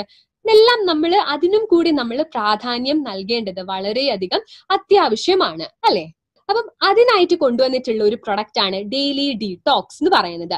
നമുക്ക് ഇനി നോക്കിയാൽ അറിയാം നമ്മളുടെ ശരീരത്തിൽ ഏതൊക്കെയാണ് എന്തിനാണ് ഈ ഈ മാലിന്യത്തെ നീക്കം ചെയ്യുന്നതിന്റെ അത്യാവശ്യം ആവശ്യകത എന്താണ് നമ്മൾക്ക് നമ്മളുടെ ശരീരത്തിന്റെ അകത്ത് ചെന്നിട്ടൊന്ന് നോക്കാം. നമ്മുടെ ശരീരത്തിൽ എപ്പോഴും ഭക്ഷണം കഴിക്കുന്നു ആ ഉച്ചയ്ക്ക് കഴിക്കുന്നു രാവിലെ കഴിക്കുന്നു രാത്രി കഴിക്കുന്നു. ആ ഭക്ഷണം കൃത്യമായിട്ട് ദഹിക്കുന്നുണ്ട് പാചനം നടക്കുന്നുണ്ട്. അങ്ങനെ ഉണ്ടാകുന്ന മാലിന്യങ്ങൾ ശരീരത്തിൽ തന്നെ കുന്നുകൂടി കിടക്കുകയാണെങ്കിൽ അത് ദോഷം വരുത്തില്ലേ? തീർച്ചയായും വരുത്തും. അല്ലെ? അതുപോലെ തന്നെ ഞാൻ പറഞ്ഞിരുന്നു നേരത്തെ ആമം എന്ന് പറഞ്ഞിരുന്നു. ഞാൻ ഇമ്മ്യൂണോ ത്രീ പ്ലസ്സിൽ ആമത്തെ പറ്റിയിട്ട് പറഞ്ഞിരുന്നു. അങ്ങനെ ദഹിക്കാതെ കിടക്കുന്ന ഭക്ഷണങ്ങൾ ശരീരത്തിൽ നിന്നും നീക്കം ചെയ്യേണ്ടത് വളരെയധികം അത്യാവശ്യമാണ്. ഇല്ല എന്നുണ്ടെങ്കിൽ എല്ലാ ഓർഗങ്ങളിൽ ഓർഗൻസിനെയും നമ്മളുടെ ബ്രെയിന് മുതൽ നമ്മളുടെ കാൽ സന്ധികളിൽ വരെ അധികം ബാധിക്കാനുള്ള അത്രയും അത്രയും എന്താണ് ശക്തിയാണ് നമ്മളുടെ മാലിന്യത്തെ ശരീരത്തിൽ നിന്നും നീക്കം ചെയ്തിട്ടില്ല എന്നുണ്ടെങ്കിൽ നമുക്കൊന്ന് നോക്കാം. ഇത്രയും നേരം നമ്മൾ മാലിന്യങ്ങളെ നീക്കം ചെയ്യണം നീക്കം ചെയ്യണം എന്ന് പറഞ്ഞുകൊണ്ടിരുന്നു. ഏതൊക്കെ അവയവങ്ങളാണ് മാലിന്യങ്ങളെ നീക്കം ചെയ്യുന്നതിൽ പങ്ക് വഹിക്കുന്നത് എന്നുള്ളത് നമുക്കൊന്ന് നോക്കാം. ഏതൊക്കെയാണ്? അതിന് നിങ്ങൾക്ക് ഓർക്കാനായിട്ടുള്ള ഒരു ഒരു കോഡ് ഭാഷയാണ് സ്കിൽ എന്ന് പറഞ്ഞിട്ട് ഓർത്താൽ മതി. S K I L L S എന്ന് പറഞ്ഞിട്ടുണ്ടെങ്കിൽ സ്കിന്ന് നമ്മളുടെ തൊലി. തൊലി കൂടി നമുക്കറിയാം വിയർപ്പ് വരുമ്പോ അല്ലെ? തൊലിപ്പുറത്ത് കൂടിയിട്ടാണ് അത് നീക്കം ചെയ്യുന്നത്. തൊലി എന്ന് പറയുന്നത്. കെ എന്ന് പറഞ്ഞിട്ടുണ്ടെങ്കിൽ കിഡ്നി നമ്മളുടെ രണ്ട് വൃക്കകൾ. ശരിക്കും പറഞ്ഞാൽ അത് നമ്മുടെ ശരീരത്തിലെ ഫിൽട്ടർ ആണ്. രക്തത്തെ ഫിൽട്ടർ ചെയ്ത് പല തവണ അരിച്ചെടുത്ത് അതിലെ മാലിന്യങ്ങളെ നീക്കം ചെയ്യുന്ന അവയവമാണ് കിഡ്നി എന്ന് പറയുന്നത്. അടുത്തതാണ് ഇൻഡസ്റ്റൈൻ എന്ന് പറയുന്നത്. നമ്മളുടെ ദഹനമൊക്കെ കൃത്യമാക്കി കൊണ്ടുപോകുന്നത് അവിടെയുള്ള മാലിന്യങ്ങളെ നീക്കം ചെയ്യുന്നത്. അതിൽ നമുക്ക് നമ്മുടെ പാൻക്രിയാസിനെയും കൂടി ഉൾപ്പെടുത്താം. എൽ എന്ന് പറഞ്ഞിട്ടുണ്ടെങ്കിൽ രണ്ട് എൽ ഉണ്ട്. ഒരു എൽ ലങ്സ് മറ്റേത് ലിവറിന്റെത്. അപ്പൊ ആദ്യം ലിവർ ലിവർ എന്ന് പറഞ്ഞിട്ടുണ്ടെങ്കിൽ അഞ്ഞൂറിലധികം കർമ്മങ്ങളാണ് നമ്മളുടെ ശരീരത്തിൽ ലിവർ കരൾ ചെയ്തുകൊണ്ടിരിക്കുന്നത്. ഫാറ്റിനെയൊക്കെ ബ്രേക്ക് ഡൗൺ ഫാറ്റിന്റെ ഒക്കെ വിഘടനത്തിന് വേണ്ടിയിട്ട് സഹായിക്കുന്ന ബൈൽ എന്ന് പറഞ്ഞിട്ടുള്ള ഒരു കൊളസ്ട്രോളിന്റെ കൊളസ്ട്രോളിനെ നിർമ്മിക്കുന്നത് ലിവറാണ് അതുപോലെ തന്നെ മാലിന്യങ്ങളെ നീക്കം ചെയ്യുന്നതിലും വളരെയധികം പങ്ക് വഹിക്കുന്ന ഒന്നാണ് ലിവർ എന്ന് പറഞ്ഞിട്ടുള്ളത്. പിന്നെയുള്ളതാണ് ലങ്സ് നമുക്കറിയാം നമ്മൾ ശ്വസിക്കുന്നുണ്ട് അല്ലെ? ശ്വസിക്കുമ്പോൾ ഓക്സിജൻ ആണ് ബാക്കിയുള്ള ഹൃദയത്തിലേക്ക് പോവുകയും ഹൃദയത്തിൽ നിന്നും ബാക്കിയുള്ള അവയവങ്ങളിലേക്കും ശരീരഭാഗങ്ങളിലേക്കും പോകുന്നത്. കാർബൺ ഡൈ ഓക്സൈഡിന് പുറത്തേക്ക് വിടുന്നു. ഈ ഒരു കർമ്മം ചെയ്യുന്നത് ഏതാണ്? ആരാണ്? ലങ്സ് ആണ്. അപ്പം അതിന്റെയും ആരോഗ്യം നമ്മൾ ഉറപ്പുവരുത്തേണ്ടത് വളരെ അധികം അത്യാവശ്യമാണ്. ഇത്രയും മൾട്ടിപ്പിൾ ആയിട്ടുള്ള ഓർഗൻസ് ആണ്. കേവലം ഒരു ഒരു അവയവമാണോ നമ്മുടെ ശരീരത്തിലെ മാലിന്യങ്ങളെ നീക്കം ചെയ്യുന്നതിൽ പങ്കുവഹിക്കുന്നത് അല്ല ഇത്രയും അവയവങ്ങളാണ് അല്ലെ? നമ്മുടെ സ്കിന്നുണ്ട് നമ്മളുടെ വൃക്കയുണ്ട് ലിവർ ലങ്സ് തുടങ്ങിയ അവയവങ്ങളാണ് ഇൻഡസ്റ്റൈൻ പാൻക്രിയാസ് ഒക്കെയാണ് നമ്മളുടെ മാലിന്യങ്ങളെ കൈകാര്യം ചെയ്യുന്ന ഓർഗൻസ് അപ്പം ഇവയുടെ ആരോഗ്യത്തെ സംരക്ഷിക്കുന്നതിൽ നമ്മൾ പ്രാധാന്യം നമ്മൾ ഇമ്പോർട്ടൻസ് നൽകണ്ടേ? വേണം. ഇപ്പം ലങ്സിന് വേണ്ടിയിട്ട് ഇന്ന മരുന്ന് ഇന്ന ഇന്ന പ്രൊഡക്റ്റ് കിഡ്നിക്ക് വേണ്ടിയിട്ട് ഇന്ന പ്രൊഡക്റ്റ് അതിനേക്കാൾ ഉപരി ഈ എല്ലാ എല്ലാ എല്ലാ അവയവങ്ങൾക്കുമുള്ള ഒരു പ്രൊഡക്റ്റ് അവ ഈ എല്ലാ അവയവങ്ങളുടെയും മാലിന്യങ്ങളെ നീക്കം ചെയ്യുന്നതിൽ പ്രധാന പങ്ക് വഹിക്കുന്നതായിട്ടുള്ള ഒരു പ്രോഡക്റ്റ് മാലിന്യങ്ങളെ നീക്കം ചെയ്യുന്നതിൽ. അപ്പൊ അതാണ് നമ്മുടെ എലമെന്റ്സ് വെൽനെസിന്റെ ഡെയിലി ഡീടോക്സ് എന്ന് പറഞ്ഞിട്ടുള്ളത്. ഒൻപത് സ്പെഷ്യലിസ്റ്റ് ആയിട്ട് ഒമ്പത് സ്പെഷ്യൽ ആയിട്ടുള്ള ഔഷധങ്ങളാൽ നിർമ്മിതമായിട്ടുള്ളതാണ് നമ്മളുടെ എലമെന്റ്സ് വെൽനെസ്സിലെ ഈ പറഞ്ഞിട്ടുള്ള ഡെയിലി ഡീടോക്സ് അപ്പം ആദ്യം നമുക്ക് ഓരോന്നോരോന്നായിട്ട് നോക്കാം. ആദ്യം തന്നെ ലിവർ നമ്മുടെ കരൾ. കരളിന്റെ ആരോഗ്യം ഉറപ്പുവരുത്തുന്നതിലും അവിടെ ഉണ്ടാകുന്ന മാലിന്യങ്ങളെ നീക്കം ചെയ്യുന്നതിലും വേണ്ടിയിട്ട് പ്രവർത്തിക്കുന്നതാണ്. അതേപോലെ തന്നെയാണ് കരളിന്റെ മാലിന്യം പറഞ്ഞതിലാണ് എൽ ഡി എൽ എന്ന് പറയുന്നത്. ലോ ഡെൻസിറ്റി ലിപ്പോ പ്രോട്ടീൻ എന്ന് പറയുന്നതും ലിവറിലേക്കാണ് എത്തുന്നത് നമ്മുടെ രക്തത്തിലൊക്കെയുള്ള കൊളസ്ട്രോൾ ലിവറിലേക്കാണ് എത്തുന്നത്. ആ ലിവറാണ് അവിടുന്ന് ഈ എക്സസ് ആയിട്ട് നമ്മുടെ ശരീരത്തിന് ആവശ്യമില്ലാത്ത കൊളസ്ട്രോളിനെ ഒക്കെ നീക്കം ചെയ്യുന്നത് ലിവറാണ് ഇത്തരത്തിലുള്ള ഈ ലിവറിന്റെ പ്രവർത്തനം കൃത്യമാക്കി നടത്തേണ്ടേ? അതിനു വേണ്ടിയിട്ടാണ് നമ്മളുടെ ഈ ഒരു പ്രൊഡക്റ്റിൽ നിലവേപ്പും കുറുന്തോട്ടിയും വേപ്പും ചേർന്നിട്ടുള്ളത്. നിലവേപ്പ് എന്നൊക്കെ പറയുമ്പോൾ ഭയങ്കര ആന്റി ബാക്ടീരിയൽ ആയിട്ടുള്ള കർമ്മമാണ്. ബാക്ടീരിയാസിനെതിരെ പ്രവർത്തിക്കാനായിട്ടുള്ള ഒരു കർമ്മമാണുള്ളത്. കുറുന്തോട്ടിക്ക് എന്ന് പറഞ്ഞിട്ടുണ്ടെങ്കിൽ കുറച്ചുകൂടി അതിന്റെ ആരോഗ്യം സംരക്ഷിക്കാനായിട്ട് ലിവറിന്റെ ആരോഗ്യം സംരക്ഷിക്കാനായിട്ടുള്ളതാണ്. വേപ്പാണെങ്കിൽ നമ്മൾ ഡയബ ലൈഫിൽ പറഞ്ഞിരുന്നു രക്തത്തിലെ ഷുഗറിന്റെ അളവിനെ കൃത്യമാക്കി കൊണ്ടുപോകുന്നതിൽ സഹായിക്കുന്നതാണ് വേപ്പ് എന്ന് പറയുന്നത്. അടുത്തതായിട്ട് പറയുകയാണെങ്കിൽ വൃക്ക. വൃക്കകളുടെ സംരക്ഷണം എന്തിനാണ്? വൃക്കകളാണ് നമ്മളുടെ ശരീരത്തിലെ അരിപ്പ. അപ്പൊ ആ വൃക്കകളുടെ സംരക്ഷണം അവിടെ ഉണ്ടാകുന്ന മാലിന്യങ്ങളെ നീക്കം ചെയ്യുന്നത് ഉറപ്പുവരുത്താൻ വേണ്ടിയിട്ട് നമ്മൾ ഇതിൽ ഉപയോഗിച്ചിട്ടുള്ള രണ്ടെണ്ണമാണ് പുനർനവ അതായത് തഴുതാമയും അതുപോലെ തന്നെ നീർമാതളവും. തഴുതാമയുടെ സംസ്കൃതത്തിൽ ആയുർവേദത്തിൽ പറയുന്നതാണ് പുനർനവ എന്ന് പറയുമ്പോൾ പുനർനവ അത് ശരിക്കും പറഞ്ഞ ഒരു സൂപ്പർ ആയിട്ടുള്ള ഒരു ഡ്രഗ് ആണ്. കേവലം എന്താണ്? മൂത്രളം. മൂത്രളമാണ് അതിന്റെ കർമ്മം എന്ന് പറയുന്നത്. ഡൈയൂററ്റിക്സ് മൂത്രത്തിന്റെ അളവ് കൂട്ടുക. അതുവഴി ശരീരത്തിലെ മാലിന്യങ്ങളെ നീക്കം ചെയ്യുക എന്നുള്ള കർമ്മമാണ് ഈ പറഞ്ഞിട്ടുള്ള നീർമാതളത്തിനും അതുപോലെ തന്നെ തഴുതാമയ്ക്കും ഉള്ളത്. തഴുതാമയ്ക്ക് ഇതിനും ഉപരിയായിട്ട് പുനർനവ പുനർജീവനം ഒരു രസായനമായിട്ടുള്ള ഒരു എഫക്റ്റ് ആണ് ഈ പറഞ്ഞ പുനർനവയ്ക്ക് ഉള്ളത്. പുനർജീവനം എന്നുള്ള ഒരു കർമ്മം കൂടിയിട്ടാണ് ഈ പറഞ്ഞ പുനർനവ നമ്മളുടെ തഴുതാമയ്ക്ക് ഉള്ളത്. അടുത്തതാണ് ഇതെല്ലാം കൺട്രോൾ ചെയ്യാൻ ആര് വേണം?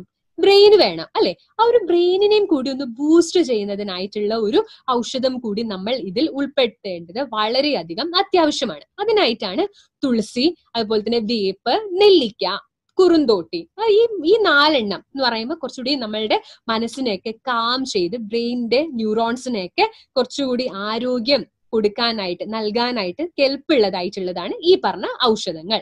അടുത്തത് ഹൃദയം എന്ന് പറയുന്നത്. അതിൽ ഏറ്റവും കൂടുതൽ ഏറ്റവും ഫലപ്രദമായിട്ടുള്ള ഒരു ഔഷധമാണ് ഉപയോഗിച്ചിട്ടുള്ളത്. അതാണ് നീർമരുത് എന്ന് പറയുന്നത്. അർജുന നീർമരുത് എന്ന് പറയുന്നത്. ഇത് കൃത്യമായിട്ടും ഹൃദയത്തിലെ മസിൽസിന്റെ സ്ട്രെങ്തനിങ്ങും ബ്ലഡ് വെസൽസിന്റെ സ്ട്രെങ്ത് ചെയ്യാനും ഹൃദയത്തിന്റെ പ്രവർ പ്രവർത്തനം ഓവറോൾ നല്ല രീതിയിൽ നടത്താൻ ഏറ്റവും അധികം സഹായിക്കുന്നതായിട്ടുള്ള ഒരു ഔഷധമാണ് നീർമരുത് എന്ന് പറയുന്നത്. പിന്നെ അടുത്തത് ചിറ്റമൃത് എന്ന് പറയുന്നത്. ചിറ്റമൃത് അമൃതിന് തുല്യമായിട്ടുള്ളത്. അതുകൊണ്ടാണ് അതിന് ചിറ്റമൃത് എന്നുള്ള ഒരു പേര്.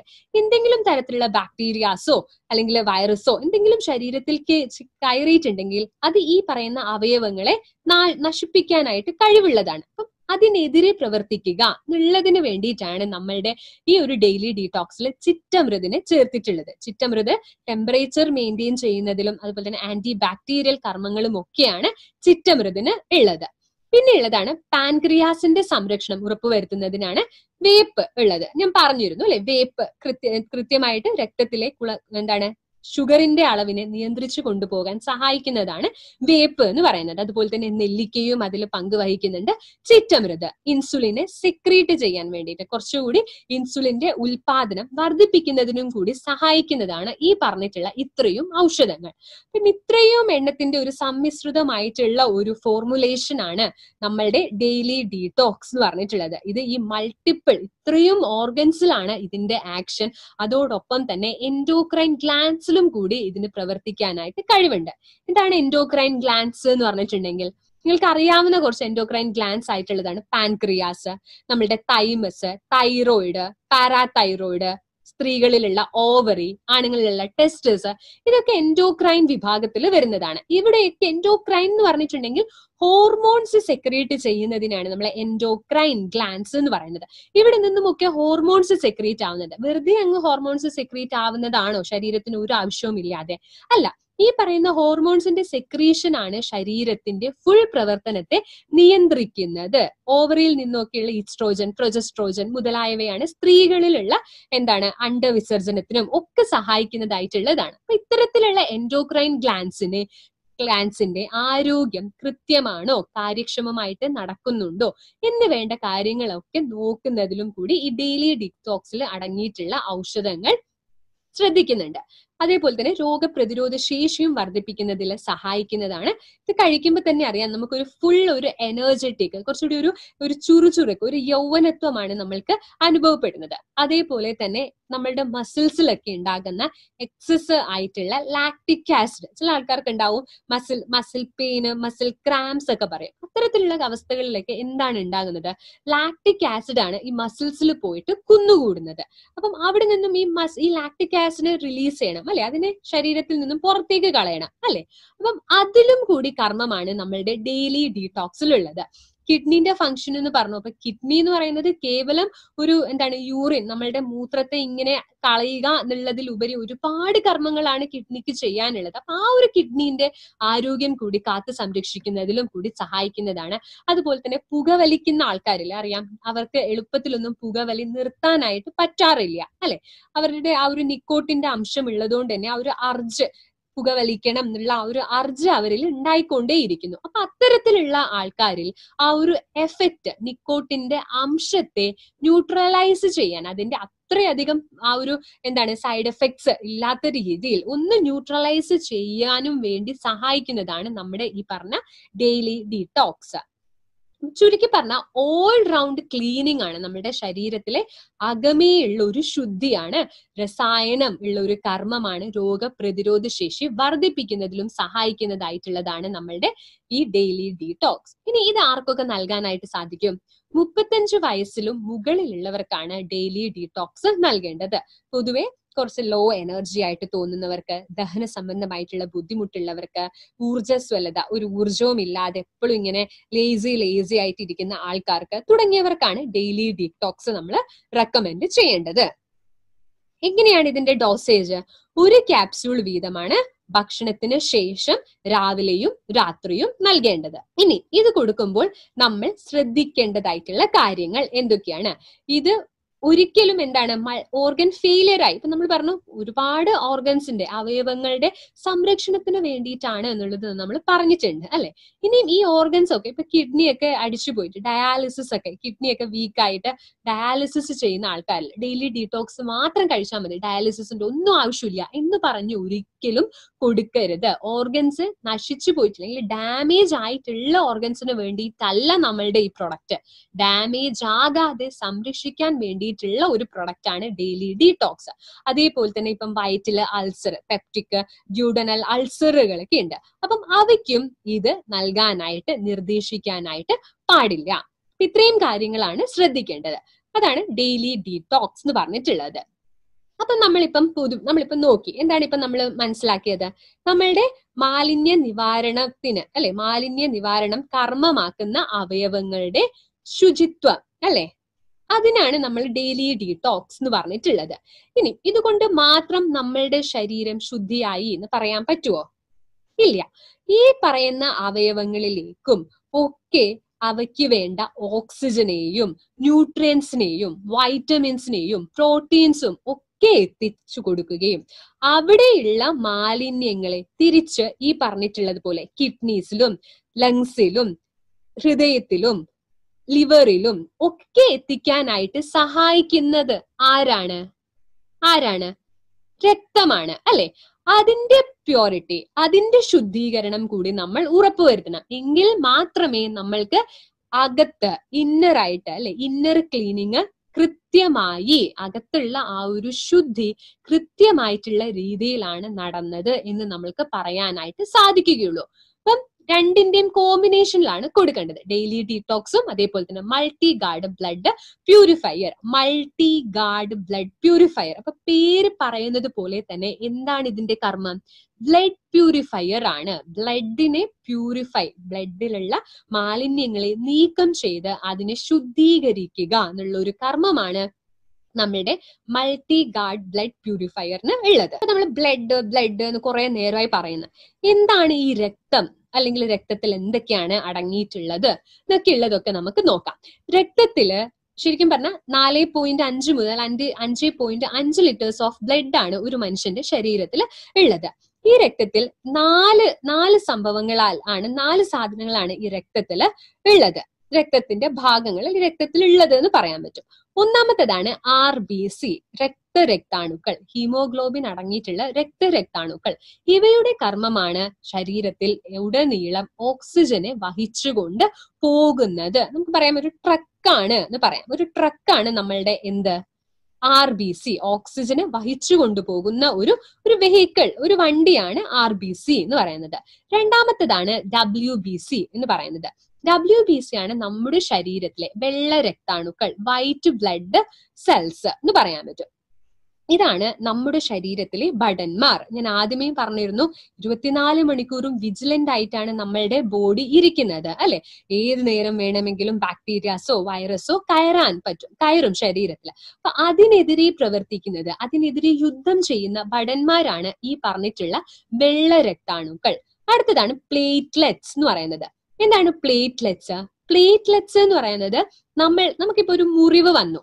കൈ ഒന്ന് മുറിഞ്ഞു. കൈ ഒന്ന് മുറിയുമ്പോഴത്തേക്കും നമുക്കറിയാം നിശ്ചിത സെക്കൻഡുകൾക്കുള്ളിൽ മിനിറ്റുകൾക്കുള്ളിൽ ആ മുറിവിൽ നിന്നും ചോര വരുന്നത് നിൽക്കും. അല്ലെ? നമ്മൾ ഒന്നും ചെയ്തില്ലെങ്കിൽ തന്നെയും. അതെന്തുകൊണ്ടാണ് അതാണ് ക്ലോട്ടിങ് ബ്ലഡ് കട്ട പിടിച്ചു ക്ലോട്ടിങ് നടന്നു എന്ന് പറയുന്നത്. ചില ആൾക്കാരിൽ ഒരുപാട് നേരം രക്തം പോയിക്കൊണ്ടേയിരിക്കും. അപ്പൊ ക്ലോട്ടിങ്ങിലുള്ള പ്ലേറ്റ്ലെറ്റ്സിന്റെ അഭാവവും ക്ലോ ക്ലോട്ടിങ്ങിലുള്ള തകരാറും മൂലമൊക്കെയാണ്. അപ്പൊ അതാണ് പ്ലേറ്റ്ലെറ്റ്സിന്റെ കർമ്മം. രക്തത്തെ കട്ട പിടിപ്പിക്കുക എന്നുള്ളതാണ് പ്ലേറ്റ്ലെറ്റ്സിന്റെ കർമ്മം. അടുത്തത് നാലാമത്തതാണ് പ്ലാസ്മ എന്ന് പറയുന്നത്. അപ്പൊ ഇത്രയും ഭാഗ ഇത്രയും പറഞ്ഞ red blood cells W B C platelets ഇവയ്ക്ക് യഥേഷ്ടം സഞ്ചരിക്കാൻ വേണ്ടിയിട്ട് ഒരു ഫ്ലൂയിഡ് ഒരു ദ്രവത്തിന്റെ ഒരു കൺസിസ്റ്റൻസി വേണം അല്ലെ? അപ്പം അതിന് വേണ്ടിയിട്ടാണ് ഇവയ്ക്ക് യഥേഷ്ടം ശരീരത്തിൽ സഞ്ചരിക്കുന്നതിന് വേണ്ടിയിട്ടുള്ളതാണ് ഈ പറഞ്ഞ പ്ലാസ്മ എന്ന് പറയുന്നത്. അങ്ങനെ നാലെണ്ണമാണ് നമ്മളുടെ ബ്ലഡിൽ അടങ്ങിയിട്ടുള്ളത്. ഇനി എങ്ങനെയൊക്കെയാണ് ബ്ലഡ് ഇംപ്യൂർ ആവുന്നത് എന്ന് നമുക്ക് നോക്കാം. ആദ്യത്തേതാണ് നമ്മളുടെ ലങ്സ് ആണ് അല്ലെ? എന്താണ് നമ്മൾ ശ്വസിക്കുന്നു ലങ്സ് വികസിക്കുന്നു. ലങ്സ് ആണ് ഈ പറഞ്ഞ നമ്മളുടെ ശ്വാസകോശം ആണ് കാർബൺ ഡയോക്സൈഡ് ഇങ്ങനെ കെട്ടി കെട്ടി കിടക്കുന്നത്. ഈ പറഞ്ഞിട്ടുള്ള ലങ്സിൽ നിന്നും ഓക്സിജനെയാണ് ആര് എടുത്തുകൊണ്ട് പോകുന്നത്? ബ്ലഡ് എടുത്തുകൊണ്ട് ബാക്കിയുള്ള എല്ലാ അവയവങ്ങളിലേക്കും ലിവറിലേക്കും കിഡ്നിയിലേക്കും എല്ലാത്തിലേക്കും എത്തിച്ചു കൊടുക്കുന്നത്. അവിടെയുള്ള കാർബൺ ഡൈ ഡയോക്സൈഡിനെയാണ് തിരിച്ച് ഈ രക്തം തിരിച്ച് എങ്ങോട്ടേക്ക് കൊണ്ടുവരുന്നത്? ലങ്സിലേക്ക് എത്തിക്കുന്നത്. എന്തിനാണ് ലങ്സിലേക്ക് എത്തിക്കുന്നത്? അതിന്റെ പുറത്തേക്ക് കളയാൻ വേണ്ടിയിട്ട്. തിരിച്ച് ഓക്സിജൻ വന്ന് ഫില്ല് ചെയ്യും കാർബൺ ഡൈ ഓക്സൈഡ് പുറത്തേക്ക് പോകും. ഈ ഒരു പ്രക്രിയയാണ് നടന്നുകൊണ്ടേ ഇരിക്കുന്നത് അങ്ങനെ ഈ തിരിച്ചു വരുന്ന ബ്ലഡ് എന്ന് വെച്ചാൽ മാലിന്യങ്ങളാണ് തിരിച്ചുള്ളത്. കാർബൺ ഡൈ ഓക്സൈഡ് അതിനെ നീക്കം ചെയ്യണ്ടേ? കാർബൺ ഡൈ ഡയോക്സൈഡും കൊണ്ടുവരുന്ന ബ്ലഡ് പ്യുവർ ആയിട്ടുള്ള ശുദ്ധമായിട്ടുള്ള രക്തമാണോ? ഒരിക്കലുമല്ല. അത് ഇംപ്യൂർ ആയിട്ടുള്ള രക്തമാണ്. രണ്ടാമത്തതാണ് നമ്മളുടെ ഒരുപാട് മാലിന്യങ്ങൾ. ഇപ്പൊ ഓരോരോ അവയവങ്ങളും പ്രവർത്തിക്കുന്നതിലൂടെ അതാതിന്റെ മാലിന്യങ്ങൾ ഉണ്ടാകുന്നുണ്ട്. അപ്പം ആ മാലിന്യങ്ങളിൽ രക്തം എടുത്തുകൊണ്ട് അതായത് മാലിന്യ നിവാരണമായിട്ടുള്ള കേന്ദ്രങ്ങളായിട്ടുള്ള അവയവങ്ങളിലേക്ക് എത്തിക്കുന്നു. അങ്ങനെ എടുത്തുകൊണ്ട് വരുമ്പം ഇത് മലിനമാകുന്നില്ലേ? അങ്ങനെയും ഇത് മലിനമാകുന്നു. ഇനി ഓരോരോ അവയവങ്ങൾ കൃത്യമായിട്ട് വർക്ക് ചെയ്യുന്നില്ല എന്നുണ്ടെങ്കിൽ അപ്രകാരവും എന്ത് സംഭവിക്കും? രക്തം മലിനമായിക്കൊണ്ടേയിരിക്കും. ഇപ്പം നമ്മൾ പറഞ്ഞു പ്രമേഹമുള്ള ഒരു രോഗിയിൽ നമ്മൾ പറഞ്ഞിരുന്നു എന്താണ്? രക്തത്തിൽ ഷുഗറിന്റെ അളവ് ഇങ്ങനെ അനുദിനം വർദ്ധിച്ചുകൊണ്ടേയിരിക്കുന്നു. അപ്പൊ അവിടെ കയ്യും കെട്ടിയിരിക്കുകയാണോ ശരീരം ചെയ്യുന്നത്? അല്ല പാൻക്രിയാസിന്റെ ബീറ്റാ സെൽസിൽ നിന്നും ഇൻസുലിൻ ഉൽപ്പാദിപ്പിക്കുന്നു.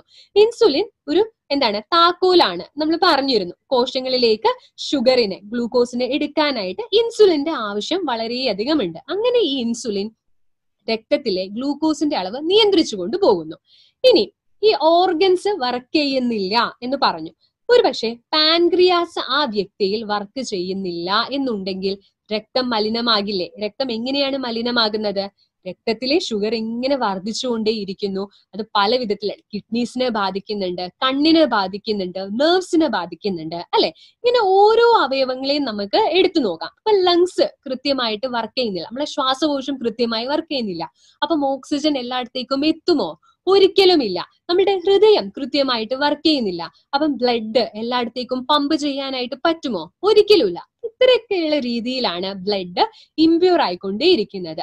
ഈ അടുത്ത ഒരു കാരണമാണ് ഫിസിയോളജിക്കൽ ആയിട്ടുള്ളത്. കോമൺ ആയിട്ട് നമുക്ക് എന്താണ് സ്വാഭാവികമായിട്ടും നമ്മൾ വലുതാവുന്നതിനോട് അനുബന്ധിച്ച് സ്ത്രീകളായിക്കോട്ടെ പുരുഷന്മാരായിക്കോട്ടെ കൗമാര പ്രായക്കാർക്കൊക്കെയാണ് മുഖക്കുരു മുഖത്ത് ഒരുപാട് വർദ്ധിച്ചു കണ്ടിരുന്നത് വർദ്ധിച്ചു വരുന്നത്. അതും അവരുടെ എന്താണ് ആ ഒരു പ്രായത്തിന്റെതാണ് കൂടുതലായിട്ടും കണ്ടിട്ടുള്ളത്. അപ്പം ഇതൊരു ഫിസിയോളജിക്കൽ ആയിട്ടുള്ള ഒരു ഒരു ചേഞ്ചസ് കാരണവും രക്തം ഇംപ്യൂർ ആയിക്കൊണ്ടേയിരിക്കുന്നുണ്ട്. ഇനി ഈ ഇംപ്യൂർ ആയിട്ടുള്ള രക്തത്തെ ശരി കുഴപ്പമില്ല.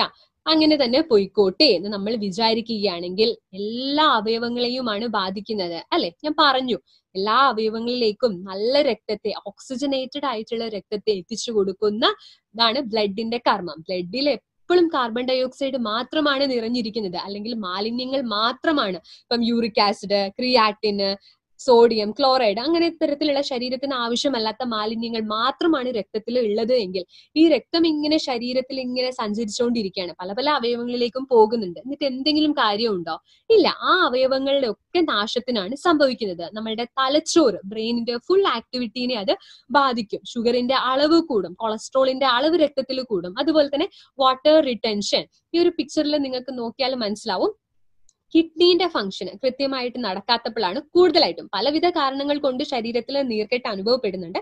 എന്നാലും കൂടുതലായിട്ടും കിഡ്നീന്റെ ഫംഗ്ഷൻസ് കൃത്യമല്ലാത്ത പക്ഷമാണ് നമ്മൾക്ക് ഇത്തരത്തിൽ നീർക്കെട്ട്. കൈകാലുകളിൽ കണ്ണിന്റെ അടിയിൽ തടിപ്പ് ഉണ്ടാവുക കാലുകളിൽ തടിപ്പ് ഉണ്ടാവുക ഒക്കെ ഉണ്ടാകുന്നത്. അപ്പൊ ഇത്തരത്തിലുള്ള വാട്ടർ വാട്ടറിന്റെ നീർക്കെട്ട് ഉണ്ടാവുക വാട്ടർ റിട്ടൻഷൻ ഉണ്ടാവുക. അപ്പൊ ഇതിനെയൊക്കെ നമ്മൾ നല്ല രീതിയിൽ തന്നെ മാനേജ് ചെയ്യണം അല്ലെ? ഇത്രയും ഓർഗൻസിലൊക്കെ നല്ല രക്തം എത്തിച്ചു കൊടുക്കണം. അതിനായിട്ടുള്ള ഒരു പ്രൊഡക്റ്റ് ആണ് നമ്മളുടെ മൾട്ടി ഗാർഡ് ബ്ലഡ് പ്യൂരിഫയർ ഇത്രയും ഓർഗൻസിലേക്ക് നല്ല പ്യുവർ ആയിട്ടുള്ള രക്തത്തെ എത്തിക്കുക. സ്കിന്നിൽ ഉണ്ടാകുന്ന പ്രശ്നങ്ങൾ ഞാൻ പറഞ്ഞു ഫിസിയോളജിക്കൽ ആയിട്ട് ഉണ്ടാകുന്ന പ്രശ്നങ്ങൾ അതിനൊരു പരിഹാരമായിട്ട് ഒരു രസായനം ഓവറോൾ ഒരു രസായനം എന്നുള്ള ഒരു കർമ്മത്തിന് വേണ്ടിയിട്ടുള്ളതാണ് നമ്മളുടെ മൾട്ടി ഗാർഡ് ബ്ലഡ് പ്യൂരിഫയർ അപ്പം എങ്ങനെയൊക്കെയാണ് നമ്മൾക്ക് രക്തത്തിന്റെ പ്യോറിറ്റി രക്തത്തിന്റെ ശുദ്ധി ശുദ്ധി നമുക്ക് ഉറപ്പുവരുത്താനായിട്ട് പറ്റുക. ഒന്ന് രക്തത്തിലുള്ള ആ ഒരു മാലിന്യങ്ങളെ നീക്കം ചെയ്യുന്നതിന് വേണ്ടിയിട്ടുള്ള കുറച്ച് ഔഷധങ്ങൾ ആഡ് ചെയ്യണം. അതോടൊപ്പം തന്നെ എന്തും കൂടി ഇമ്പോർട്ടൻസ് ആണ്. രക്തവർദ്ധകം അല്ലെ? പുതിയ പുതിയ രക്തം വർദ്ധിപ്പിക്കുന്നതിലും കൂടി പ്രാധാന്യം നൽകേണ്ടേ. അതിനു വേണ്ടിയിട്ടാണ് നമ്മളുടെ ഈ ഒരു പ്രൊഡക്റ്റിൽ മഞ്ചട്ടിയും അതുപോലെ തന്നെ നന്നാറിയും ചേർത്തിട്ടുള്ളത്. ഇത് രണ്ടും പുതിയ പുതിയ ആർ ബി രക്തരക്താണുക്കളുടെ അല്ലെങ്കിൽ രക്തത്തിന്റെ ഉൽപാദനത്തെ വർദ്ധിപ്പിക്കുന്നവയാണ് ഈ പറഞ്ഞ രണ്ടും. ഇനി രക്തത്തിൽ ഒരുപാട് ബാക്ടീരിയാസോ ഇൻഫെക്ഷൻസോ എന്തെങ്കിലും ഉണ്ടെങ്കിൽ അങ്ങനെ അത് മലിനമാകും. ആ ഒരു മലിനത്തെ നമ്മൾക്ക് നീക്കം ചെയ്യണ്ടേ? അതിനായിട്ടാണ് ഇതിൽ ഉലുവയും അതേപോലെ തന്നെ മഞ്ഞളും ഇരട്ടി മധുരവും ഇതിൽ ചേർന്നിട്ടുള്ളത്. ഉലുവ എന്ന് പറയുന്നത് നമ്മളുടെ ശരീരത്തിലെ ട്രൈഗ്ലിസറൈഡ്സിനെ എൽ ഡി എല്ലിനെ അതായത് ലിപ്പിഡ് പ്രൊഫൈൽ നമ്മൾക്ക് ആവശ്യമല്ലാത്തതായിട്ടുള്ള ചീത്ത കൊളസ്ട്രോളിനെ നിയന്ത്രിച്ചു കൊണ്ടുപോകുന്നത്. രക്തത്തിലുള്ള നിയന്ത്രിച്ചു കൊണ്ടുപോകാൻ ഈ കൊളസ്ട്രോളിനൊക്കെ കൺട്രോൾ ചെയ്ത് കൊണ്ടുപോകാൻ സഹായിക്കുന്നതാണ് ഉലുവ. പിന്നെ ഉള്ളതാണ് നീർമാതളവും അതേപോലെ തന്നെ വരുണയും. നമ്മൾ നേരത്തെ ഡെയിലി ഡീടോക്സിൽ പറഞ്ഞിരുന്നു. അതേ കർമ്മം തന്നെയാണ്. വെള്ളത്തിന്റെ അളവ് വർദ്ധിപ്പിച്ച് ശരീരത്തിലുള്ള മാലിന്യങ്ങൾ കിഡ്നിയിലേക്ക് എത്തിക്കുകയും അങ്ങനെ കിഡ്നി വഴി യൂറിൻ വഴി അത് പുറം പുറത്തേക്ക് തള്ളിവിടുന്നതിനും കൂടി സഹായിക്കാൻ വേണ്ടിയിട്ടാണ് നീർമാതളവും അതേപോലെ തന്നെ തഴുതാമയും ഇതിൽ ചേർത്തിട്ടുള്ളത്. ഇനി ദഹന സംബന്ധമായിട്ടുള്ള മാലിന്യങ്ങളാൽ എന്താണ് എന്താണ് ചീത്തയായിട്ടുള്ള മലിനമായിട്ടുള്ള രക്തമാണ് എങ്കിൽ അതിനെ കൃത്യമാക്കി കൊണ്ടുപോകാൻ വേണ്ടിയിട്ടാണ് ഇതിൽ ചേർത്തിട്ടുള്ളത്. താനിക്കയും കടുക്കയും അതുപോലെ തന്നെ നെല്ലിക്കയും കടുക്കയും നെല്ലിക്കയും. നമ്മളുടെ ഡൈജഷൻ നമ്മളുടെ ഡൈജസ്റ്റീവ് ഫയർ കുറച്ചുകൂടി വർദ്ധിപ്പിക്കാൻ സഹായിക്കുന്ന ഒന്ന് ആണ് ഈ പറഞ്ഞ നെല്ലിക്കയും അതുപോലെ തന്നെ കടുക്കയും. അപ്പം ഇത്രയും കർമ്മങ്ങളാണ്. അപ്പൊ ഓവറോൾ ഇപ്പൊ നോക്കുമ്പോഴത്തേക്കും നമ്മളുടെ ദഹനം കൃത്യമാക്കി കൊണ്ടുപോകാനുള്ളതുണ്ട്. കിഡ്നീസും പാൻക്രിയാസും നല്ല രീതിയിൽ വർക്ക് ചെയ്യാനായിട്ടുള്ളതുണ്ട്. നല്ല രക്തത്തിന്റെ ഉൽപാദനം സഹായിക്കുന്നുണ്ട്. ബോൺ മാരോയിൽ അതിന്റെ ഫങ്ഷൻ ഉണ്ട്. നല്ല സ്കിന്ന് രക്തം നല്ല ശുദ്ധിയാവുമ്പോൾ തന്നെ സ്കിന്നൊക്കെ നല്ല ഗ്ലോയിങ് ആയിട്ടുള്ള ഒരു സ്കിൻ ആവും. അപ്പൊ ഇത്തരത്തിലുള്ള ഒരു കോമ്പിനേഷനിൽ ഒരു പ്രൊഡക്റ്റും തന്നെ ഇന്ന് മാർക്കറ്റിൽ ലഭ്യമില്ല. നമ്മൾക്ക് ആർക്കും കിട്ടില്ല. ഇനി ഇത് കൊടുക്കുമ്പോൾ ശ്രദ്ധിക്കേണ്ടതായിട്ടുള്ള കാര്യങ്ങൾ എന്തൊക്കെയാണ്? ഇത് ഒരിക്കലും രക്തം എന്ന് പറഞ്ഞു അല്ലെ? മൾട്ടിഗാർഡ് ബ്ലഡ് പ്യൂരിഫയർ രക്തവർദ്ധകമാണ് എന്നൊക്കെ പറഞ്ഞു. എന്നും കരുതി ഇത് അനീമിയയ്ക്ക് ട്രീറ്റ് ചെയ്യാനായിട്ടുള്ള ഒരു പ്രൊഡക്റ്റേ അല്ല ഇത്. നമ്മളുടെ മൾട്ടിഗാർഡ് ബ്ലഡ് പ്യൂരിഫയർ അതിനായിട്ട് നമ്മളുടെ കയ്യിൽ തന്നെ ഏറ്റവും നല്ല ഫലപ്രദമായിട്ടുള്ള വേറൊരു പ്രൊഡക്റ്റ് ഉണ്ട്. അപ്പം ഇതിന്റെ ആവശ്യം അവിടെ ഇല്ല. ഇത് രക്തത്തെ ശുദ്ധീകരിക്കാൻ വേണ്ടിയിട്ടാണ്. അതുവഴി സ്കിന്നിൽ കാണുന്ന പല വിധത്തിലുള്ള പ്രശ്നങ്ങൾക്കുള്ള ഒരു പരിഹാരമാണ് ഇത്. ആയുർവേദത്തിൽ പറയുകയാണെങ്കിൽ കുഷ്ഠ വിസർപ്പ പിടക കോട കണ്ടു അരുംഷിക ഭൂതമേത്ര ആസ്യപാകശ്ച എന്നൊക്കെ പറഞ്ഞിട്ട് തിലകാലകം ദദ്രു ചർമ്മതലം ശ്വിത്രം പാമ കോടാശ്രു മണ്ഡലം എന്നൊക്കെ പറഞ്ഞിട്ട് ഒരു ഗ്രൂപ്പ് ഓഫ് ഡിസീസസ് ആണ് രക്ത. ദുഷ്ടി ഉള്ള സമയത്ത് രക്തം ഇംപ്യൂർ ആയിട്ടുണ്ടെങ്കിൽ ഉണ്ടാകുന്നത്. കുഷ്ഠം നിങ്ങൾക്കറിയാം. സോറിയാസിസ് പോലുള്ള കണ്ടീഷൻസ് അറിയാം. പിന്നെ കുറെ എന്താണ് സ്കിന്നിൽ കരിമംഗല്യം എന്നൊക്കെ പറയുന്ന ഒരുപാട് ചുണങ്ങ് എന്നൊക്കെ പറയുന്ന സ്കിന്നിലുള്ളത് അത്തരത്തിലുള്ള കണ്ടീഷൻസ് പിന്നെ എരിച്ചിൽ പുകച്ചിൽ വായിലൊക്കെ വായ്പുണ്ണ് ഉണ്ടാകുന്നത് ഇതൊക്കെ രക്തം ശുദ്ധി ശുദ്ധമല്ല ഉള്ളപ്പോൾ ഉണ്ടാകുന്നതായിട്ടുള്ള പ്രശ്നങ്ങളാണ്. ഈ പ്രശ്നങ്ങളൊന്നും ഉണ്ടാകാതിരിക്കാനും രക്തത്തെ ശുദ്ധി ചെയ്യാനും വേണ്ടിയിട്ടുള്ള നമ്മളുടെ പ്രൊഡക്റ്റ് ആണ് മൾട്ടി ഗാർഡ് ബ്ലഡ് പ്യൂരിഫയർ ഇനി നമ്മളുടെ ഡെയിലി ഡീടോക്സും അതുപോലെ തന്നെ മൾട്ടി ഗാർഡ് ബ്ലഡ് പ്യൂരിഫയറിന്റെയും തമ്മിലുള്ള നമുക്കൊന്ന് ജസ്റ്റ് ഒന്ന് ഒന്ന് താരതമ്യം നമുക്കൊന്ന് ചെയ്തു നോക്കാം. അപ്പം ഡെയിലി ഡീടോക്സ് എന്ന് പറയുമ്പോഴത്തേക്കും ഞാൻ പറഞ്ഞിരുന്നു അവയവങ്ങളെ കേന്ദ്രീകരിച്ചിട്ടാണ് കൂടുതൽ അപ്പം മൾട്ടി ഗാർഡിന് ഒരു പ്രത്യേകതയും കൂടിയിട്ടുണ്ട്. അവയവങ്ങളും ഉണ്ട്. അതേപോലെ തന്നെ നമ്മളുടെ സർക്കുലേഷൻ നമ്മളുടെ രക്തത്തിന്റെ ആ ഒരു സഞ്ചാരഗതി രക്തത്തെ കൂടുതൽ ശുദ്ധമാക്കുന്നതിലും കൂടി പ്രാധാന്യം നൽകുന്ന ഒന്നാണ് multi guard blood purifier super star ആയിട്ടുള്ള ഹെർബ്സ് ആണ്. ഡെയിലി ഡീടോക്സിലായിക്കോട്ടെ നീർമരുത് നിലവേപ്പ് ചിറ്റമൃതം ഒക്കെ അടങ്ങിയിട്ടുണ്ട്. രക്തം മൾട്ടി ഗാർഡ് ബ്ലഡ് പ്യൂരിഫയറിലാണെങ്കിൽ എന്താണ്? മഞ്ചിട്ട മഞ്ചിഷ്ട അതുപോലെ തന്നെ മഞ്ഞൾ ഇരട്ടി മധുരം തുടങ്ങിയവയാണ്.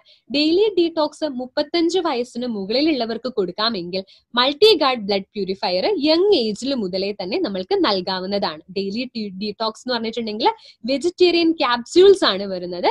അതേസമയം മൾട്ടി ഗാർഡ് ബ്ലഡ് പ്യൂരിഫയർ എന്ന് പറഞ്ഞിട്ടുണ്ടെങ്കിൽ ലിക്വിഡ് കൺസിസ്റ്റൻസി ലിക്വിഡ് ആണ് അത്. നമ്മളുടെ ഡെയിലി ഡീടോക്സിലുള്ള ക്യാപ്സ്യൂൾസ് എന്ന് പറഞ്ഞിട്ടുണ്ടെങ്കിൽ നൂറ് ശതമാനം ഗോൾഡൻ വെജിറ്റബിൾ ക്യാപ്സ്യൂൾസ് ആണ്. വെജിറ്റബിൾ ക്യാപ്സ്യൂൾസ് മറ്റുള്ള നോൺ വെജിറ്റേറിയൻ ക്യാപ്സ്യൂൾസിനെക്കാളും ആറ് മടങ്ങ് ആണ് അതിന്റെ വില വരുന്നത്. എന്തുകൊണ്ടാണ് നമ്മൾ അതിൽ ഉപയോഗിച്ചിട്ടുള്ളത്? കാരണം ഇതിന്റെ നമ്മൾ ക്യാപ്സ്യൂൾസ് ഫോംസ് ആണ് അല്ലെ ഉപയോഗിച്ചിട്ടുള്ളത്. നമുക്കൊന്ന് താരതമ്യം ചെയ്യാം. എന്തുകൊണ്ടാണ് ടാബ്ലറ്റ്സ് ഉപയോഗിക്കാതെ ക്യാപ്സ്യൂൾസ് ഫോമിൽ നമ്മൾ ഉപയോഗിക്കുന്നത്? ടാബ്ലറ്റ് ഫോംസിന്റെ ആ ഒരു നനവ് അല്ലെങ്കിൽ മോയ്സ്ചർ കണ്ടന്റ് എന്ന് പറയുന്നത് പത്ത് ശതമാനം വരെയാണ്. അതേസമയം ക്യാപ്സ്യൂൾസിലാണെങ്കിൽ കേവലം അഞ്ച് ശതമാനം മാത്രമാണ് ഉള്ളത്. അതിന്റെ നിർമ്മാണം എന്ന് പറയുന്നത് നമ്മൾക്ക് വളരെ നല്ല രീതിയിൽ നിർമ്മിച്ചെടുക്കാനായിട്ട് സാധിക്കും. ടേസ്റ്റ് ആണെങ്കിലോ നമ്മളുടെ ക്യാപ്സ്യൂൾ എന്ന് പറയുമ്പോൾ ഒരു ടേസ്റ്റും ഉണ്ടോ? ക്യാപ്സ്യൂൾ ഇല്ല. അതേസമയം ടാബ്ലറ്റ് ആണെങ്കിലോ ഒരു കയ്പ് ചൊവ പോലെയൊക്കെ ഉണ്ടാവുന്നുണ്ട്. എത്ര ഈ ഒരു ടാബ്ലറ്റ് ഫോമിൽ നമ്മളുടെ വയറ്റിലേക്ക് ചെല്ലുമ്പോൾ അതിലടങ്ങിയിട്ടുള്ള ഔഷധങ്ങൾ നാൽപ്പത്തഞ്ച് മിനിറ്റ് വരെയാണ് എടുക്കുന്നത് നമ്മളുടെ ശരീരത്തിലേക്ക് റിലീസ് ചെയ്യാൻ വേണ്ടി. അതേസമയം ക്യാപ്സ്യൂൾ അടങ്ങിയിട്ടുള്ള ആ ഒരു ഔഷധം ആ ഒരു ക്യാപ്സുലാർ ഫോമിലാണ് എങ്കിൽ കേവലം പതിനഞ്ച് മിനിറ്റിനകമാണ് ആ ഒരു റിലീസ് ഔഷധങ്ങളൊക്കെ ശരീരത്തിലേക്ക് റിലീസ് ചെയ്യുന്നത്. ഇനി നോൺ വെജിറ്റേറിയൻ ക്യാപ്സ്യൂൾസും വെജിറ്റേറിയൻ ക്യാപ്സ്യൂൾസും തമ്മിലുള്ള ആ ഒരു താരതമ്യം നോക്കുകയാണെങ്കിൽ വെജിറ്റേറിയൻ ക്യാപ്സ്യൂൾസ് എന്ന് പറയുമ്പോൾ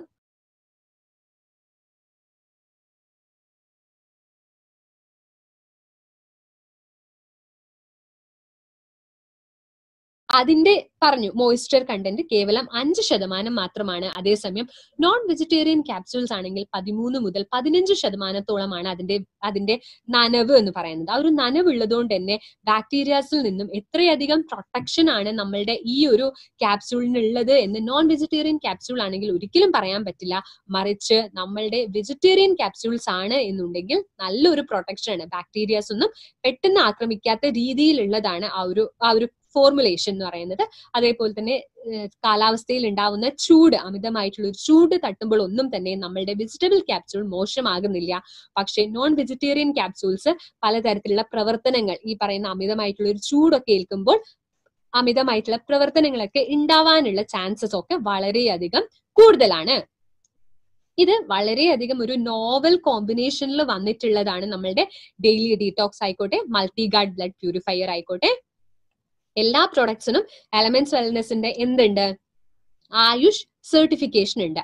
ആയുഷ് പ്രീമിയം സർട്ടിഫിക്കേഷൻ ആണ് ഉള്ളത്. അപ്പം എന്താണ് ആയുഷ് എന്ന് പറഞ്ഞിട്ടുണ്ടെങ്കിൽ?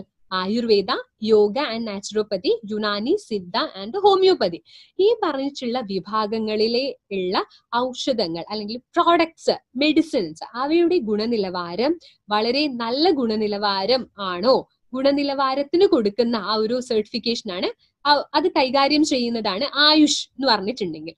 ആയുഷിന് രണ്ട് സർട്ടിഫിക്കറ്റ്സ് ആണ് ഉള്ളത്. ഒന്ന് സ്റ്റാൻഡേർഡ് സർട്ടിഫിക്കറ്റും അതുപോലെ തന്നെ പ്രീമിയം സർട്ടിഫിക്കറ്റും സ്റ്റാൻഡേർഡ് സർട്ടിഫിക്കേഷൻ ഇന്ത്യയിലുള്ള പ്രൊഡക്ട്സിന് ഇന്ത്യയിലുള്ള എന്താണ് നമ്മൾക്ക് മാർക്കറ്റിങ്ങിന് വേണ്ടിയിട്ടുള്ളതാണ് സ്റ്റാൻഡേർഡ് സർട്ടിഫിക്കേഷൻ അതേസമയം പ്രീമിയം ആണെങ്കിൽ അന്താരാഷ്ട്ര വിപണിയിലേക്ക് എത്തിച്ച് അതിന്റെ മാർക്കറ്റിങ്ങിന് വേണ്ടിയിട്ടുള്ളതാണ് പ്രീമിയം സർട്ടിഫിക്കേഷൻ. അപ്പം നിങ്ങൾക്കറിയാം ഒരു ഒരു ഉൽപ്പന്നം നമ്മൾ കയറ്റുമതി ചെയ്യണമെങ്കിൽ അത്ര കണ്ട് അതിന്റെ ഗുണനിലവാരം ഉണ്ടെങ്കിൽ മാത്രമേ അന്യ രാജ്യങ്ങളിൽ അത് നമ്മൾക്ക് വിൽക്കാനായിട്ട് സാധിക്കുകയുള്ളൂ. ആ ഒരു സർട്ടിഫിക്കേഷൻ ആണ് നമ്മളുടെ എലമെന്റ്സ് വെൽനെസിന്റെ പ്രൊഡക്ട്സിൽ ഉള്ളത്. അതുകൊണ്ട് തന്നെ അതിന്റെ ഷ്യൂരിറ്റി അതിന്റെ ക്വാളിറ്റി എന്ന് പറയുന്നത് നമ്മൾ ഒട്ടും സംശയിക്കേണ്ടതായിട്ടുള്ള ഒരു ആവശ്യമില്ല. ഇത് വളരെ പണ്ട് തന്നെ രണ്ടായിരത്തി പതിമൂന്നിൽ തന്നെ വന്നിട്ടുള്ള ഒരു ഒരു ഒരു ന്യൂസ് പേപ്പർ കട്ടിംഗ് ആണ് അത് ഇതിൽ പറഞ്ഞിരിക്കുന്നത്. ആയുർവേദ ഉൽപ്പന്നങ്ങൾ ആയുഷ് സർട്ടിഫിക്കേഷനുള്ള ആയുഷ് മാർക്കുള്ള ഉൽപ്പന്നങ്ങൾ മാത്രമേ ആയുർവേദത്തിൽ ഇത് വാങ്ങിക്കാവൂ എന്നുള്ളതാണ്. അപ്പൊ നമ്മളുടെ എല്ലാ പ്രൊഡക്ട്സിനും ആയുഷ് പ്രീമിയം സർട്ടിഫിക്കേഷൻ ഉണ്ട്.